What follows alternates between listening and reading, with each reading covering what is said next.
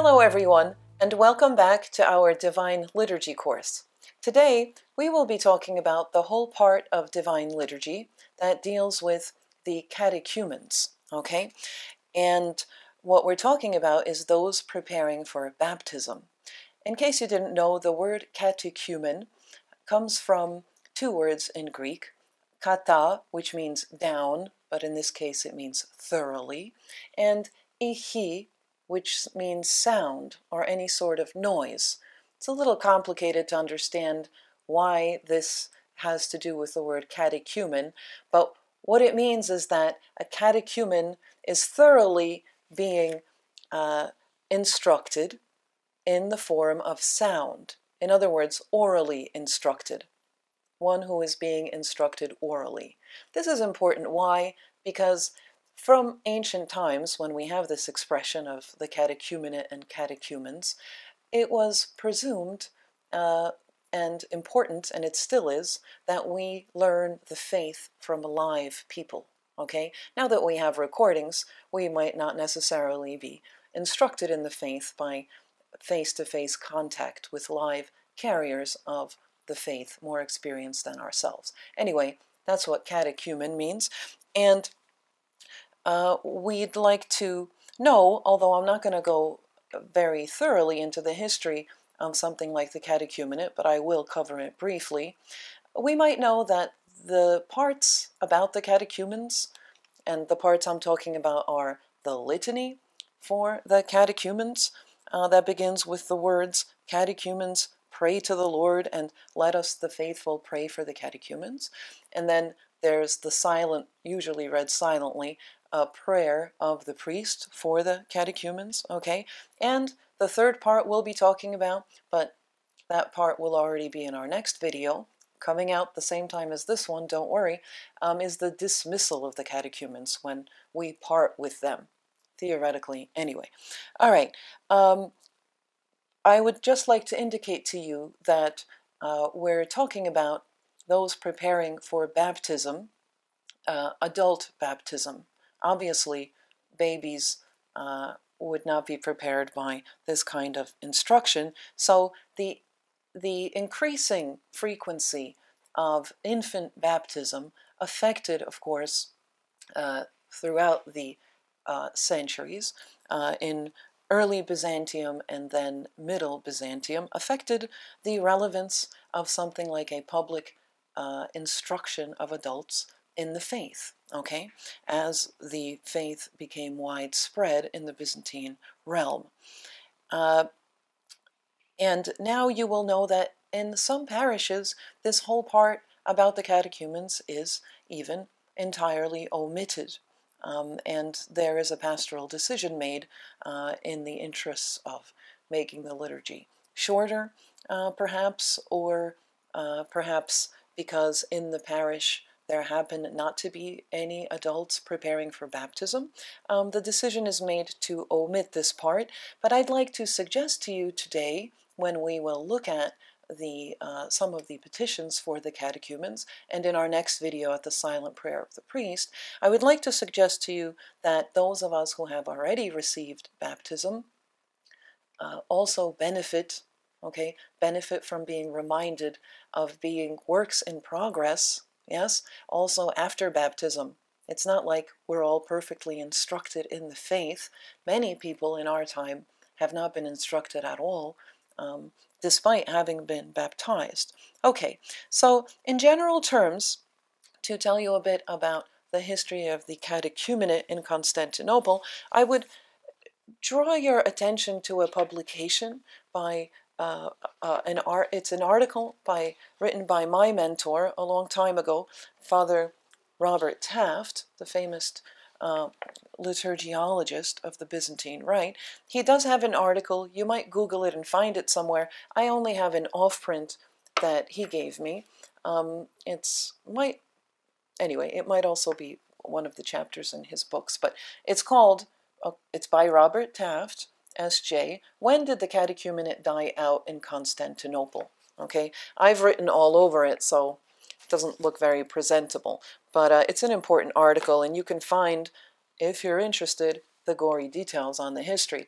I will briefly just summarize and tell you that we have scattered bits of information. It's not easy all the time to restore a historical development, okay? But we connect the dots between the scattered bits of information we have. So what are some of these bits? Well, in St. John Chrysostom's time, okay, go back to the end of the fourth and beginning of the fifth centuries. In Chrysostom's time, we know for a fact that the adult catechumenate, meaning a public sort of program okay, for preparation for baptism and instructing people in the faith was in full bloom. Okay, we have evidence of that. But then, again, centuries later, we see that in the 6th and 7th century, we see this development. In the 6th century, infants are usually being baptized in Constantinople on the 40th day already, okay? And then in the 7th century, at the time of the life of St. Maximus the Confessor, one of the famous commentators on the Byzantine liturgy, while in one of his works, not actually in his commentary called the Mystagogy of St. Maximus, but in another work, St. Maximus says that the dismissal of catechumens, uh, that it doesn't happen. It's a dead letter. Okay, so we have that evidence. And what is happening Eventually, we see clearly by the 10th century that what's happening is a tendency to privatize and make a family affair out of the Christian initiation rites, okay? Not only of catechism, instruction in the faith, but also of baptism itself, okay? It's no longer what it used to be, all right? What it used to be was this public affair within the praying community of the parish, or the cathedral, okay?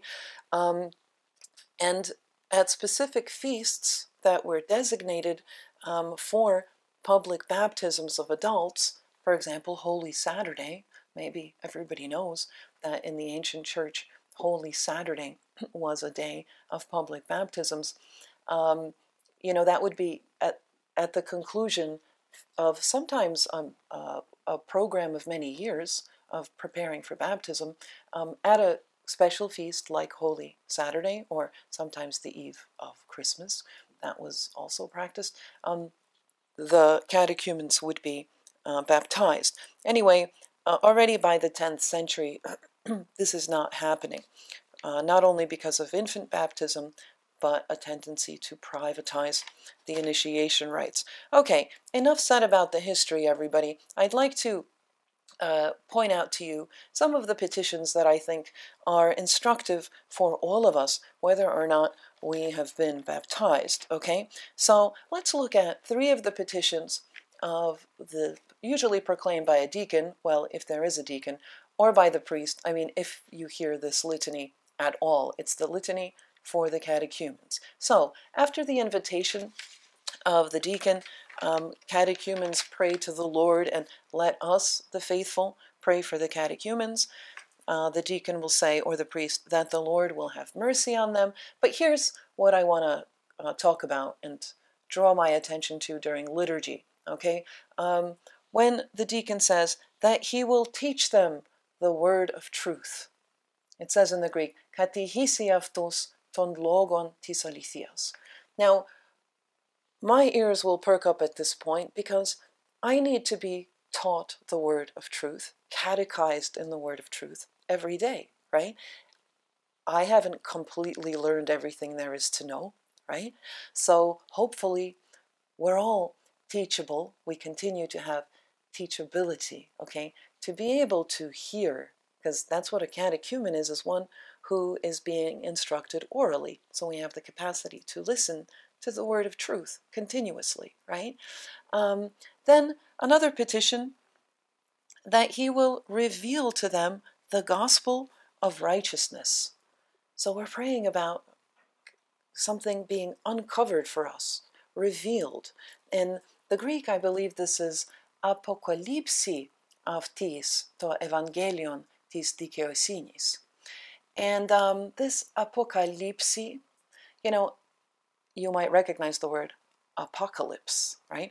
The apocalypse is the book of Revelation, right? So we need to have our eyes opened continuously also, right? Here we're praying that the catechumens have to them revealed the gospel of righteousness. It's not the same thing as simply reading the gospel, right? But for certain truths really to be uncovered. You see, um, apocalypse, this word apocalypse or uh, to reveal, um, it comes from apo, which means un, right? And kalyptin is to cover, so uncover. All right. Anyway, um, what else would I like to tell you? I would like to indicate to you just one more of these um, petitions, actually, that he will unite them to his holy Catholic and Apostolic Church. Unite to the Church. Now, are we always in perfect unity with the Church, just with one another and with God? Well, no. Time and again, we do slip out of unity, right? So we're praying for the catechumens that they be united, okay? and nosi nosiavtus ti agiavtu katholiki και apostoliki ecclesia. So is this uh, an everyday thing that I have to pray for, for my own unity and not self-isolation, right, that I might tend to in sin? Um, yes, I have to think about constantly renewing unity with God and others. And ultimately, that is the church, right, in the body of Christ. So, unity. so, three things in these petitions.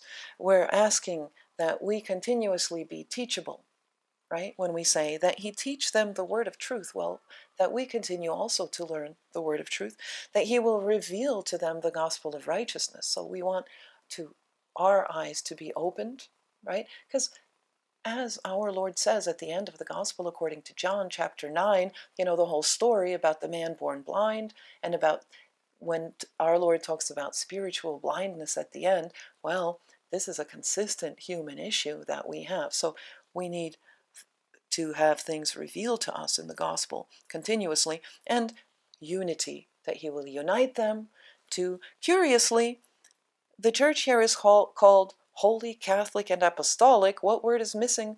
The curious thing is the word one is missing. Doesn't mean the church isn't one, that's not what I'm saying, but I find it curious that our divine liturgy omits that word of all words. Anyway, doesn't seem to find it crucial here. But anyway, unity is mentioned here. All right, that's it for this video, my friends. I hope you find it helpful uh, as to uh, some better you know, participation or your ability to participate at divine liturgy. And in my very next video, which we will, we will be putting out at the same time as this one, I will now talk about the silent prayer of the priest for the catechumens. Now, I won't go, you know, to great lengths or I won't take too much uh, time up to, to read that prayer, but I'll explain some of it. And then we'll talk about the dismissal of the catechumens when they are told by a deacon or deacons, or sometimes just by the priest to depart. So tune in for that right after this video.